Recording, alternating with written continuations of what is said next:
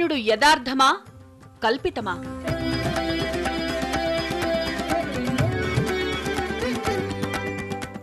విశ్వరూప దర్శనం జరిగిందా? లేక కట్టుకథ?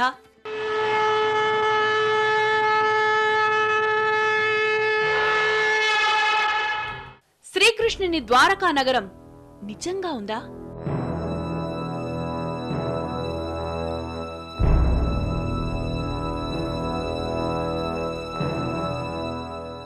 సముద్ర గర్భంలో ఉన్నది.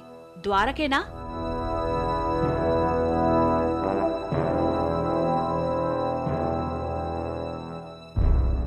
ద్వారకా నగరం ఎలా మునిగిపోయింది?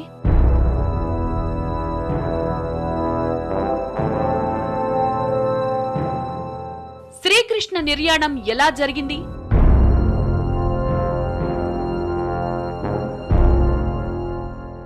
శ్రీకృష్ణ రహస్యాలు.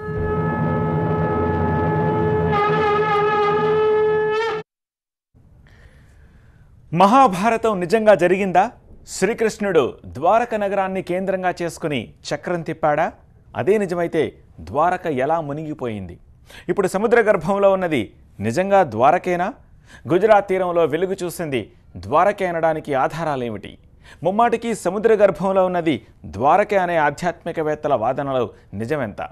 ఈ విషయాన్ని పురాతత్వ పరిశోధకులు ఎందుకు అంగీకరించట్లేదు? డిస్కవరీ ఆఫ్ ద్వారకపై ప్రత్యేక కార్యక్రమం. ద్వారక. Discovery of Dwarka. అవును. వేల ఏళ్ళ నాటి రహస్యాన్ని అరేబియా సముద్రం బయటపెట్టింది. ద్వాపర యుగం నాటి ద్వారక ఇదేనని సముద్ర గర్భాన్ని చీల్చుకుంటూ అలలు ఎగిసిపడ్డాయి. ద్వారక. ఇప్పుడు గుజరాత్లో ఉన్న ఈ పట్టణం గురించే చాలా మందికి తెలుసు. కానీ గతం చాలా ఉంది. చరిత్ర ఎంతో ఉంది. యుగాల నాటి కథ ఉంది. సముద్ర గర్భంలో శతాబ్దాల నాటి మహానగరం ఉంది. దానికోసం దశాబ్దాల అన్వేషణ కూడా దాగి ఉంది. ద్వారక. ఇక్కడ అపురూపమైన కృష్ణాలయం ఉంది. ద్వారకాధీశుడి దర్శనం కోసం వేలాది భక్తులు తరలి వస్తూ ఉంటారు. డాక్టర్ ఎస్ఆర్ రావనే పురావస్తు శాస్త్రవేత్త ఆధ్వర్యంలో ఎనభయో దశకంలో పురాతత్వ నిపుణుల బృందం కృష్ణ ఆలయానికి అడ్డుగా ఉన్న ఒక భవనాన్ని తొలగించడానికి వచ్చింది. ఆ భవనాన్ని తొలగించే క్రమంలో భూమిలో ఓ దేవాలయం బయటపడింది. అంటే ప్రస్తుతమున్న దేవాలయ ప్రాంతంలో భూమి కింద మరో దేవాలయం ఉందన్నమాట. దీంతో స్పష్టత కోసం మరింత తవ్వారు. అలా వందడుగులు లోతు వరకు జరిపిన తవ్వకాల్లో ఒక్కో పొరలో ఒక్కో ప్రాచీన ఆలయ అవశేషాలు వెలుగుచూశాయి. ఆ వస్తు అవశేషాలు డాక్టర్ రావ్ నేతృత్వంలోని పురాతత్వ పరిశోధకుల బృందంలో కొత్త ఆలోచనలకు పునాది వేశాయి. ఇవన్నీ ద్వాపర యుగం నాటి ద్వారకా నగర అవశేషాలా అన్న అనుమానం వచ్చింది. మహాభారతం ప్రకారం ద్వారకా నగరం సముద్రంలో మునిగిపోయింది. మరి ఈ అవశేషాలు ఎలా బయటపడ్డాయి అన్న సందేహము కలిగింది. అప్పుడే ఈ సముద్ర గర్భంలో అన్వేషించాలనే నిర్ణయానికొచ్చారు పురాతత్వ పరిశోధకులు. అలా పంతొమ్మిది వందల ఎనభై మూడులో గోమతి నది అరేబియా సముద్రంలో కలిసే ప్రాంతంలో అన్వేషణ మొదలైంది. సముద్ర గర్భంలో సాగిన ఆ అన్వేషణలో యుగ యుగాల నాటి రహస్య నగరం జాడ వెలుగు చూసింది. శతాబ్దాల నాటి మహానగర అవశేషాలు ఆర్కియాలజిస్టులను విస్మయానికి గురిచేశాయి అవును సముద్ర గర్భంలో పెద్ద పెద్ద గోడలు రోడ్లు డ్రైనేజీ వ్యవస్థ పెద్ద గేట్లు వారికి కనిపించాయి. పడవలను నిలపడానికి వాడే రాతి లంగర్లు కూడా బయటపడ్డాయి. అంతేకాదు ఇప్పటి మన ఐడి కార్డుల వంటి గుర్తింపు ముద్రికలు కూడా బయటపడ్డాయి. ఇలా కొనసాగించిన పరిశోధన ద్వారకకు పంతొమ్మిది మైళ్ళ దూరంలో ఉన్న ఒక ద్వీపానికి చేరింది. అక్కడ నూట యాభై మీటర్ల పొడవున్న గోడను గుర్తించింది. దీంతో అక్కడ కూడా తవ్వకాలు జరిపారు. అలా ఎనిమిదేళ్ళు కొనసాగిన తవ్వకాల ఫలితంగా ఆనాడు దాదాపు పదివేల మంది నివసించిన పట్టణం ప్రపంచానికి తెలిసింది. ఒక్కసారి ఊహించండి. వేల ఏళ్ళ క్రితం పదివేల మంది నివసించే పట్టణం అంటే ఇప్పటి మహానగరాలతో సమానమని భావించాలి. ఈ పట్టణం ఉన్న ద్వీపాన్ని బేట్ ద్వారక అని పిలుస్తున్నారు. ఇలా బేట్ ద్వారకలోనూ సముద్ర గర్భంలోనూ లభించిన అవశేషాలను మహాభారతంలో పేర్కొన్న ద్వారకా నగరంతో పోల్చినప్పుడు ఎన్నో పోలికలు కనిపించాయి. అందుకే శ్రీకృష్ణుని కాలం నాటి ద్వారక ఇదేనని ఆధ్యాత్మికవేత్తలు చెప్తున్నారు.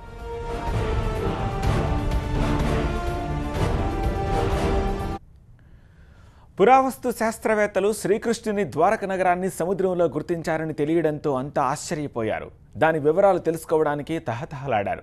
డిస్కవరీ ఆఫ్ ద్వారక గురించి తెలుసుకునే ముందు ఈ మహానగరాన్ని శ్రీకృష్ణుడు ఏ పరిస్థితిలో నిర్మించాడో తెలుసుకుందాం. పరిత్రాణాయ సాధూనా వినాశాయ దుష్కృతాం. धर्मसंस्थापनार्थाय सम्भवामि युगे युगे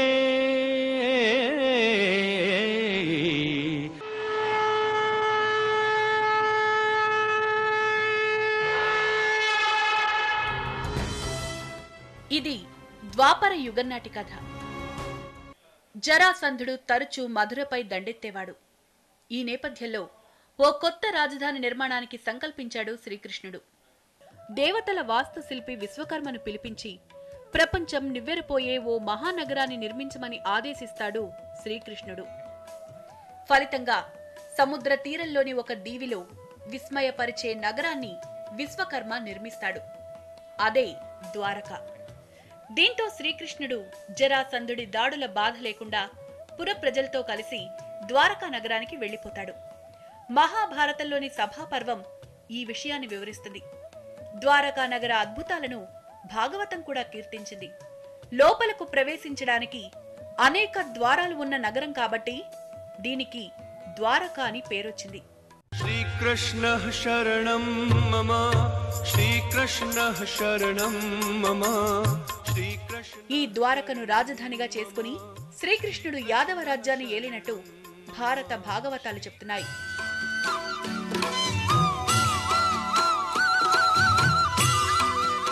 ఎందరో రాక్షసులను సంహరించి కురుక్షేత్ర యుద్ధంలో పాండవ పక్షాన నిలిచిన గోవిందుడు అవతార పురుషుడని నమ్ముతారు భక్తులు.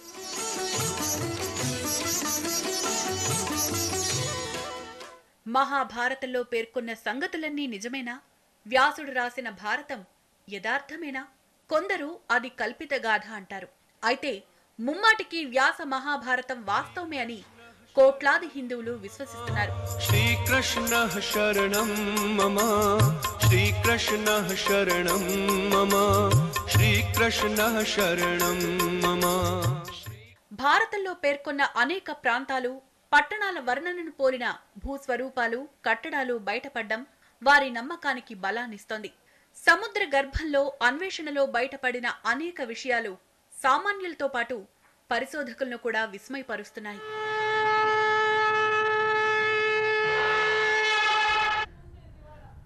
భారతీయ సంస్కృతికి ప్రతిబింబాలు రామాయణ భారత ఇతిహాసాలు. మనిషి ఎలా బతకాలో రామాయణం చెప్తే ఎలా ఉండకూడదో మహాభారతం చెబుతుంది. ఆ ఇతిహాసాలను కేవలం కట్టుకథలుగా కొట్టిపారేసేవారు ఉన్నారు. కానీ నిజంగా జరిగాయని నమ్మేవారు ఉన్నారు. ద్వారక అంశాన్ని తీసుకుంటే అసలు సముద్ర గర్భంలో ఈ నగరం ఎలా మునిగిపోయింది? అంతకుముందు ఏం జరిగింది? సముద్రంలో ద్వారక మునగబోయే ముందు ఒక దివ్య శక్తి సంపన్నుడు దాడి చేసి నగరాన్ని ధ్వంసం చేశాడని ఇతిహాసాలు చెబుతున్నాయి. ఆ తర్వాతే నగరం కడలి గర్భంలో కలిసిపోయిందంటున్నారు. ఇంతకు ఆ దాడి చేసింది ఎవరు? గుజరాత్ తీరంలో దాదాపు దశాబ్దమన్నర పాటు సాగిన పరిశోధనలో ఎన్నో వస్తువులు వందల ప్రాచీన అవశేషాలు లభించాయి. ఇవి ముప్పై రెండు వేల సంవత్సరాల నాటివని గుర్తించారు సైంటిస్టులు. అయితే పట్టణం సముద్ర గర్భంలో కలిసి తొమ్మిది వేల ఏళ్ళైనట్లు నిర్ధారించారు పరిశోధకులు.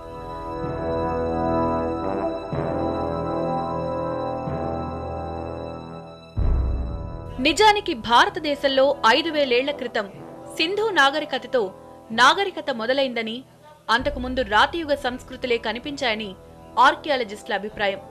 అయితే అంతకు ముందే రామాయణ మహాభారత ఇతిహాసాలు చెప్తున్న గొప్ప సంస్కృతులు ఈ నేలపై విలసిల్లాయని ఆధ్యాత్మికవేత్తల వాదన. గుజరాత్ సముద్ర గర్భలో బయటపడిన నగరం ద్వారకే అని మహాభారతం కల్పితం కాదు అనడానికి ఇదే నిదర్శనమని ఆస్తికులు భావిస్తున్నారు. భాగవతంలో పేర్కొన్న శ్రీకృష్ణుని విశ్వరూప దర్శనం నిజమని వారు నమ్ముతున్నారు. పరిత్రాణాయ సాధూనా వినాశాయ దుష్కృతాం. धर्मसंस्थापनार्थाय सम्भवामि युगे युगे సల్వుడు అనే రాక్షసరాజుకి శ్రీకృష్ణునికి మధ్య ఘోర యుద్ధం జరిగింది ద్వారకపై దండెత్తిన సల్వుడు నగరాన్ని పెద్ద ఎత్తున నష్టపరిచాడు ద్వారకపై దాడి చేసి మాయమైపోయేవి సల్వుడి విమానాలు సల్వుడు ఆనాడు ఏలియన్ టెక్నాలజీని వాడినట్టు అభిప్రాయం వ్యక్తమవుతోంది స్పేస్ క్రాఫ్ట్లో వచ్చిన సల్వుడు ఎనర్జీ వెపన్స్తో ద్వారకపై అటాక్ చేసినట్లు భావిస్తున్నాడు. భాగవతం ప్రకారం అదృశ్య విమానాలతో పాటు సల్వుణ్ణి కూడా అంతం చేస్తాడు శ్రీకృష్ణుడు. ఆ తర్వాత అవతారాన్ని చాలిస్తాడు.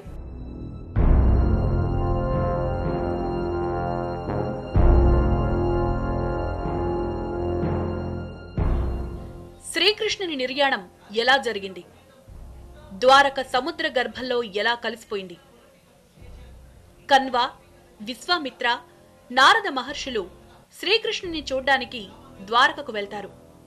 మునుల్ను కొంతమంది యాదవులు ఆట పట్టిస్తారు దీంతో ముసలం పుట్టి యాదవ వంశాన్ని నాశనం చేస్తుందని శపిస్తారు మునులు. ఇతిహాసాల ప్రకారం చివరకు ఆ ముసలంలో మిగిలిన ముక్క ఓ బోయవాడికి ఆయుధమవుతుంది. అతని బాణం వేటుకే శ్రీకృష్ణుని బొట్టనవేలికి గాయమవుతుంది. చివరికి కృష్ణావతారం చాలిస్తాడు. ఆ తర్వాతే సముద్రం ఉప్పొంగి ద్వారకా నగరం కడలి గర్భంలో కలిసిపోయిందని మహాభారతం చెప్తోంది. అయితే కృష్ణుడు తన అవతారాన్ని చాలించకముందే స్త్రీలను పిల్లలను సంకోదర అనే ద్వీపానికి పంపించినట్టు భాగవతం చెప్తోంది. ద్వారకకు పంతొమ్మిది మైళ్ళ దూరంలోని బేట్ ద్వారకే అలనాటి సంకోదర అని కొందరు అభిప్రాయపడుతున్నారు.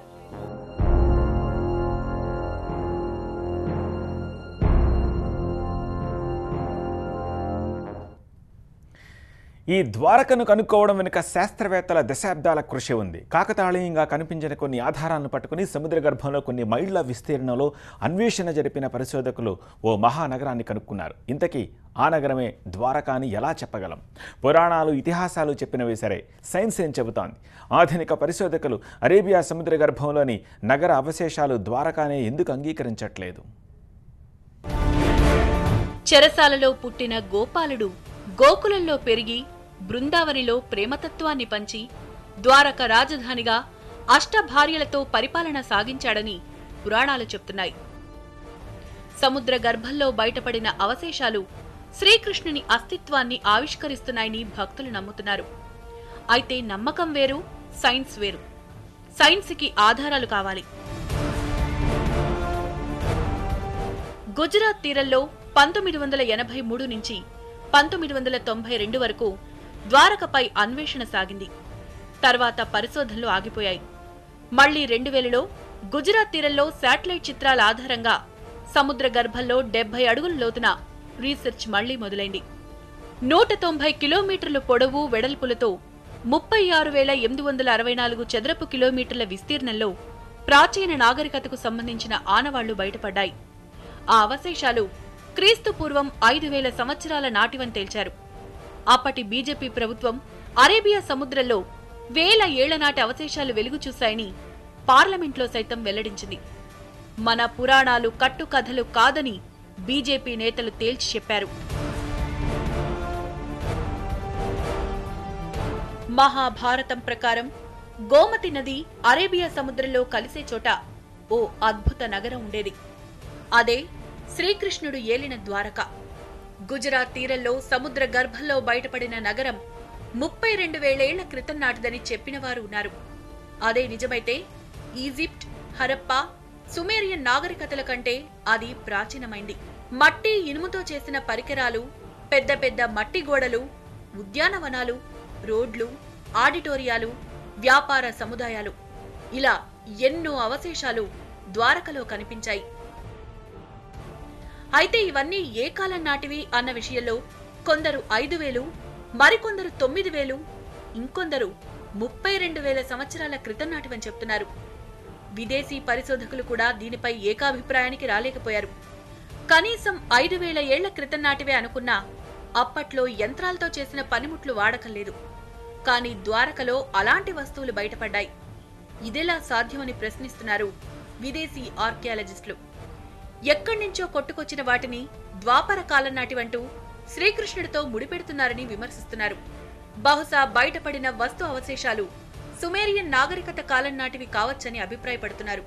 ఐదు వేలేళ్ళ క్రితం అరేబియా సముద్రం వంద మీటర్ల లోతులో ఉండేదని నగరాన్ని ముంచెత్తే ప్రసక్తే లేదని కూడా అంచనా వేస్తున్నారు ఫారిన్ సైంటిస్టులు. ఏదేమైనా ప్రాచీన నాగరికత శతాబ్దాల నాటి వైభవం కడలి గర్భంలో కలిసిపోయింది. ఆ చారిత్రక ఆనవాళ్ళను వెలికి తీయాలన్న ఆసక్తి ప్రభుత్వాలకు లేదు. ఆసక్తి ఉన్న పరిశోధకులకు ప్రోత్సాహం లేదు. దీంతో రెండు వేలలో మళ్ళీ మొదలైన ద్వారక నగర పరిశోధనలు రెండు వేల నాలుగుతో నిలిచిపోయాయి. మహాభారతం జరిగిందా జరగలేదా అన్న అంశాన్ని పక్కన పెడితే ఓ గొప్ప నగర వైభవ ఆనవాళ్ళను కడలి అలల నుంచి బయటికి తీసి క్రీస్తు పూర్వం నాటి భారత నాగరికత గొప్పతనాన్ని ముందు తరాలకు చాటి చెప్పాల్సిన అవసరం ఉంది. నమ్మకాలకు లాజిక్ ఉండకపోవచ్చు. కానీ సైన్స్కి ఆధారాలు కావాలి. భవిష్యత్తు పరిశోధనలకు అది పునాదులు వేయాలి.